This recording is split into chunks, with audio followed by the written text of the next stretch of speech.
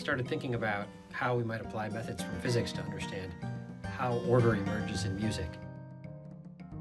We started talking and working on some of the, uh, you know, looking at some of the applications of these theories to uh, understanding music, understanding the origins, the underlying fundamental structure of music theory, and also how we could apply these in algorithms to compose new music.